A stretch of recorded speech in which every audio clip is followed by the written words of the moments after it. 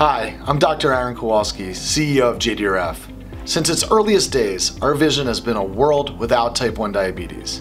Your leadership has been critical to driving advances in T1D research and therapy development, improving lives today and tomorrow, and propelling multiple potential cures into clinical trials.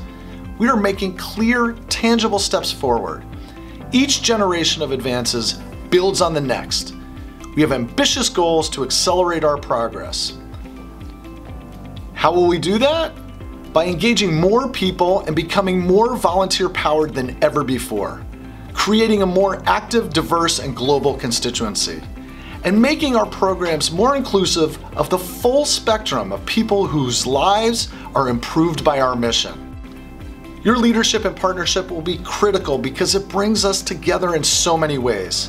Philanthropy, fundraising, partnering, and advocating with amazing results.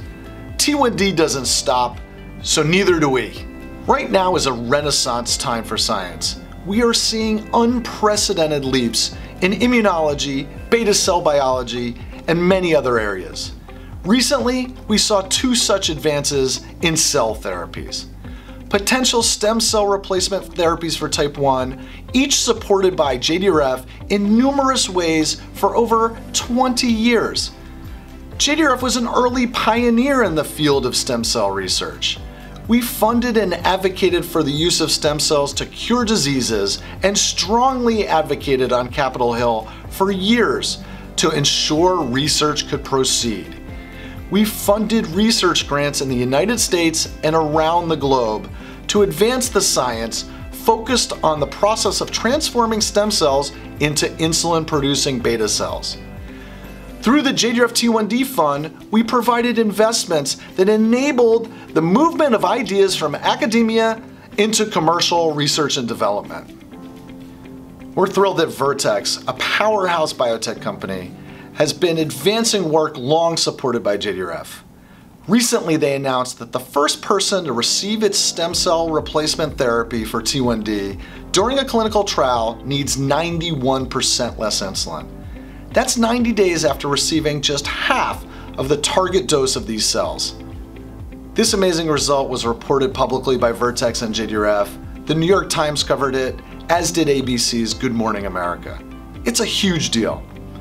JDRF's involvement extends back to the year 2000 we awarded Dr. Doug Melton a grant to make insulin producing beta cells from stem cells, which he reported out in 2014. Since that breakthrough, Dr. Melton founded Semma Therapeutics to develop these cells into curative therapies for T1D.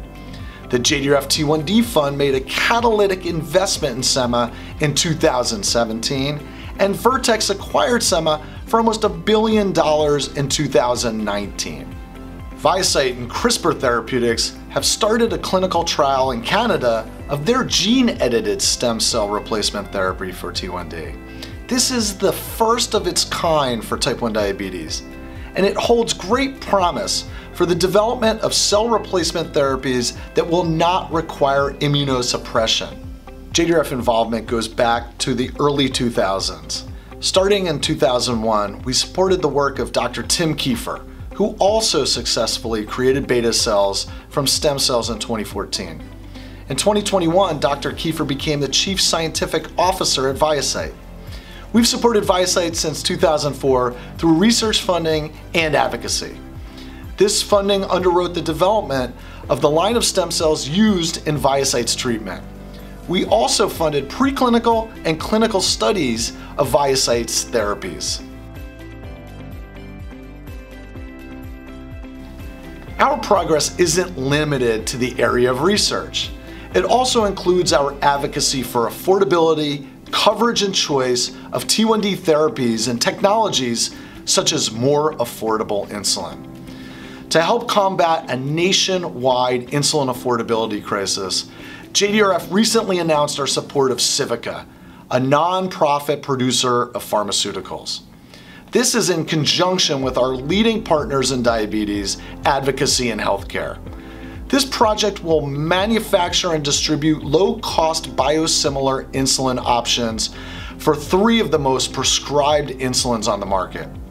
It's anticipated that in 2024, anyone living with diabetes in the United States will be able to purchase these insulins at no more than $30 a vial or $55 for a box of 5 pens, regardless of your insurance status.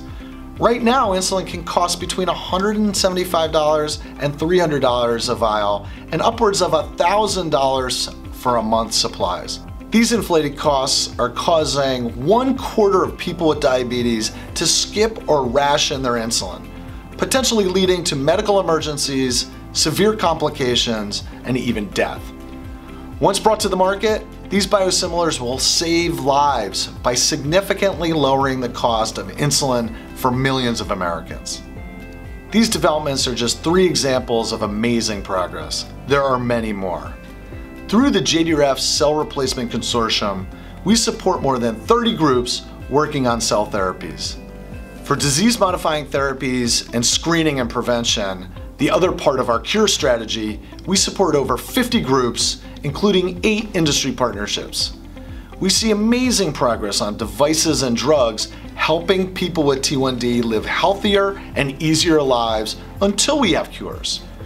We have our interoperable sensors and smaller devices.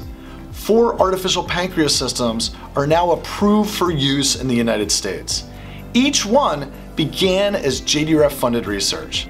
The T1D Fund has invested in at least 29 companies working on novel T1D therapies, cures, and improving lives. We need these advancements to make it to the T1D community, and our advocacy and policy work brings this progress home. We have multiple shots on goal, it's not a matter of if, but when.